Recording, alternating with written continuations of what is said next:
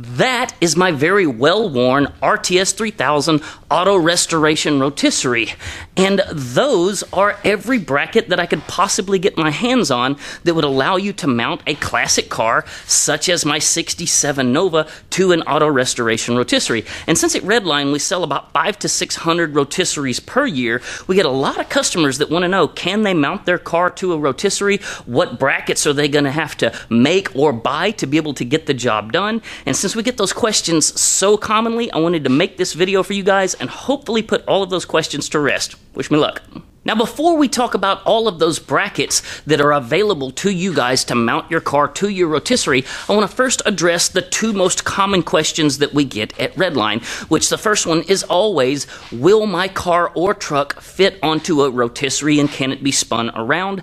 And I want to start by saying that unless we're talking about something crazy, like a dually that still has the fender flares on it, a sprinter van that you can stand up inside, there is no such thing as a regular car or truck that geometrically will not fit onto one of those things and, you know, can't be rotated all the way upside down. We have never seen a car or truck that could not be mounted to a rotisserie. That's even going to include crazy stuff like a super long, super wide Cadillac from the 70s. If it's a regular car truck, it will absolutely fit. The second most common question that we get as customers are starting this process is which rotisserie is right for my car? And if we're being totally honest, it's not really an applicable question.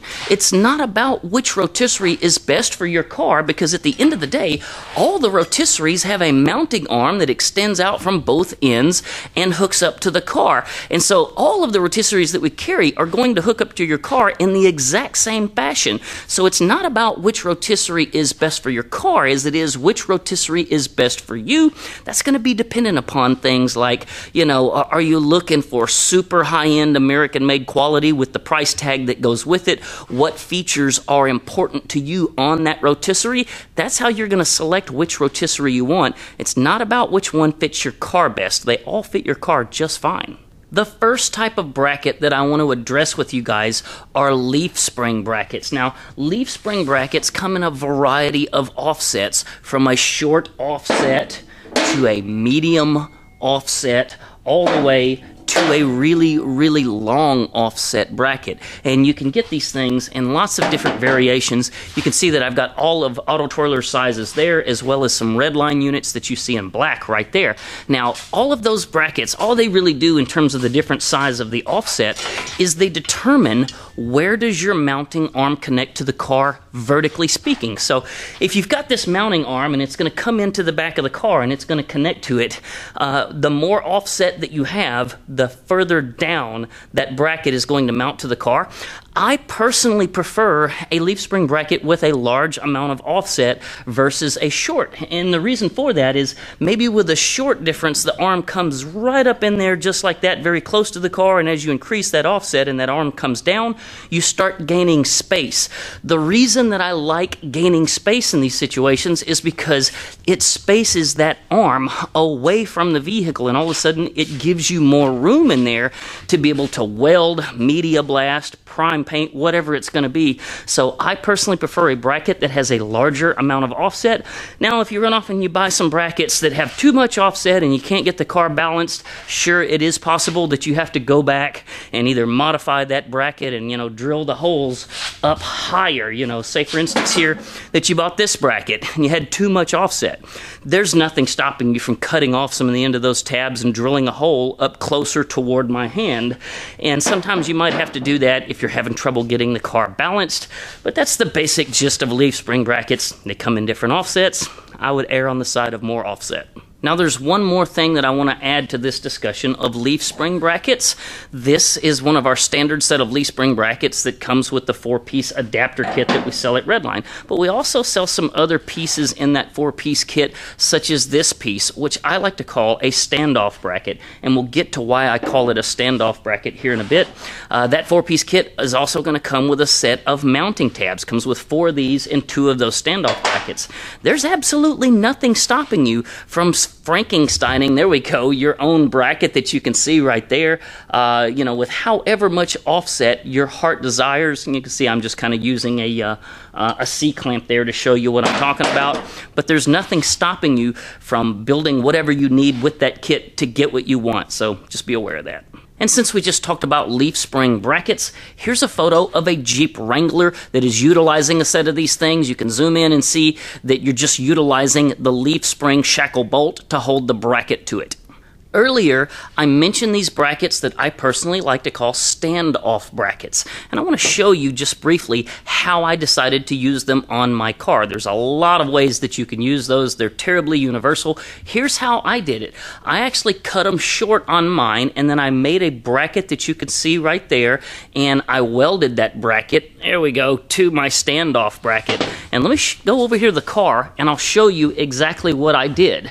You don't have to go this far, but you know know, my brother says I like to do everything the hard way, so I'll show you how I did it. First, I took a set of threaded bungs and welded them into my frame rail. So if you look right there and you look right there, you'll see that I've got permanently threaded bosses welded into my frame rail that allow my brackets to attach. If we come over here to the other side of the car, where I've now put that bracket into place, you can see there's bolts up in there that hold it in place.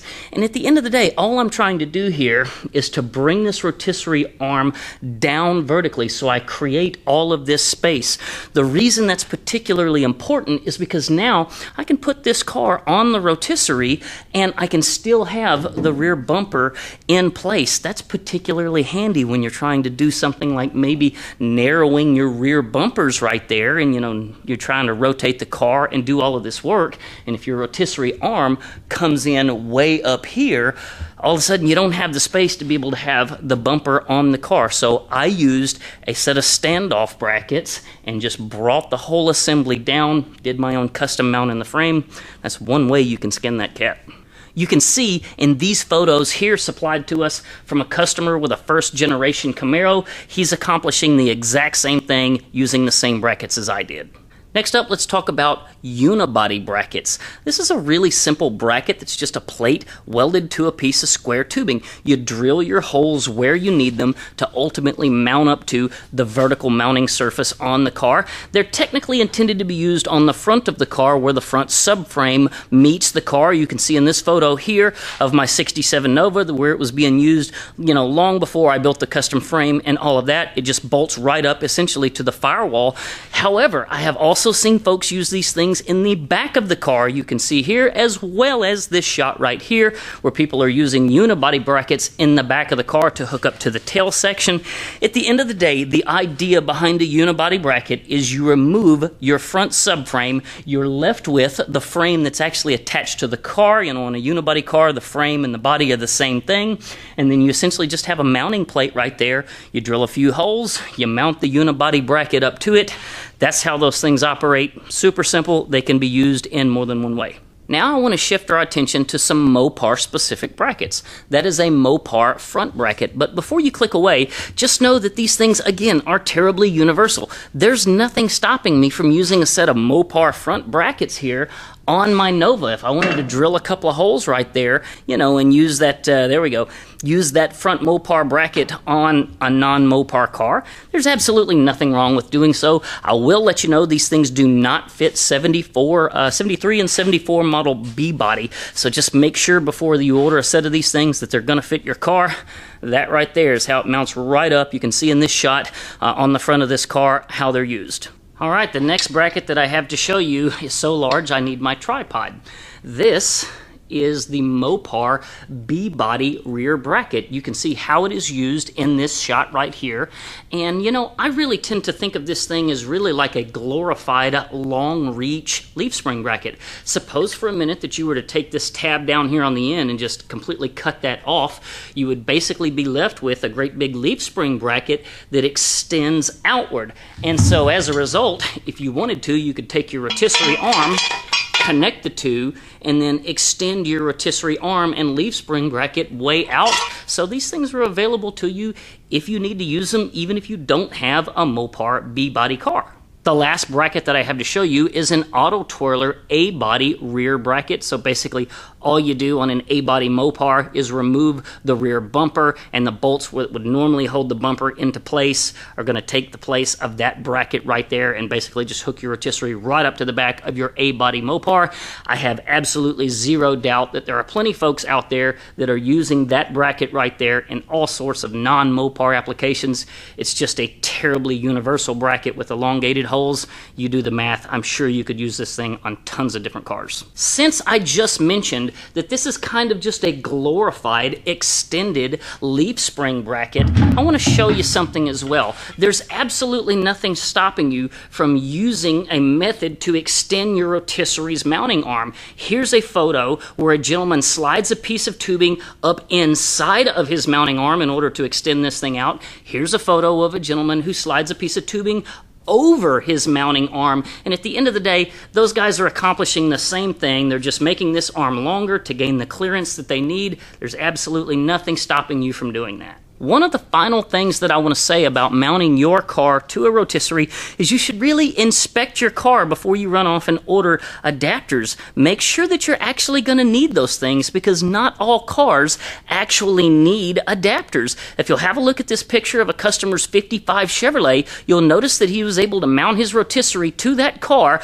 to the front and to the rear, and he didn't use any brackets at all. In fact, he just used a few washers to act as spacers, and he didn't need to buy any brackets. Maybe you don't either.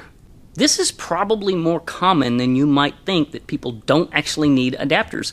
Here's a picture of a customer's Mustang where he's just drilled a couple of holes in his rotisserie's mounting arms and he's bolting it right up to the front of the car without anything necessary. Here's another customer's picture and again here is another customer's picture where they're just bolting their rotisserie right up to the subframe mounts on the front of the car and they're not building or buying anything. Okay, guys, so this is the problem you're ultimately trying to solve at the end of the day. Basically, what you've got are two arms on each end that is two inch square tubing that come out, and you have to figure out how to make those four arms connect to that car. I will mention that the only rotisserie that I'm aware of that doesn't use a two inch square tubing mounting arm is the Cornell CR3000, which is like a blue and gray rotisserie. All the other rotisseries that we carry, the Redline, Titan, Auto Twirler, all of them use a two inch mounting arm, that's the problem you're trying to solve. Do you remember in the beginning of this video that I told you essentially any car, any truck can be mounted to an auto restoration rotisserie? I want to prove that to you right now. Have a look at this photo that this customer sent us where he's mounted this van truck looking thing to one of our rotisseries. You'll notice that his hydraulic jacks are fully compressed. He could easily raise that thing a foot with no problem and to begin to rotate that entire vehicle on our rotisserie. You can put anything on one of these rotisseries. Hell, you can even put a boat on it.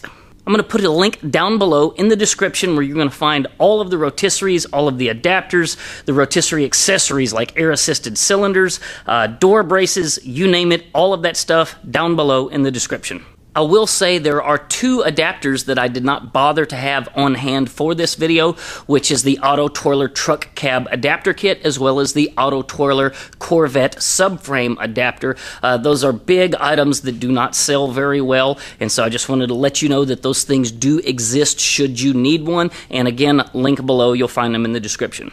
Okay, folks, that has been the lowdown on every rotisserie adapter that I could possibly get my hands on. I hope I have given you guys kind of a heads up uh, of what is going to be required to mount your project to a restoration rotisserie. If you're finding this content helpful and you want to follow along, I would ask that you please, you know, uh, click subscribe down below, click the thumbs up, turn on notifications. If you've got questions, by all means, please ask them down below in the comments. I very commonly answer folks' questions. I hope you guys enjoyed this. I appreciate you guys following along very, very much. Y'all have a great afternoon. Take care.